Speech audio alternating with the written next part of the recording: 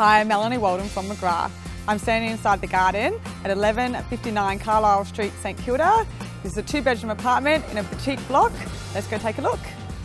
Tucked away at the rear of the building and positioned on the first floor, you enter into a well lit living area with an adjoining balcony and leafy outlook. The timber flooring flows through to the bedrooms, both of which are fitted with good sized built in robes. The central bathroom and separate kitchen are functional and spacious with scope for improvements.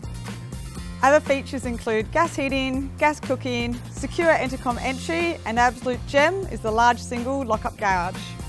In just a few minutes walk, you could be on the sand of St Kilda Beach or dining in one of the many restaurants of Acland Street or the foreshore. Alternatively, at the front door, the tram or the train will provide easy access to Melbourne and surrounds.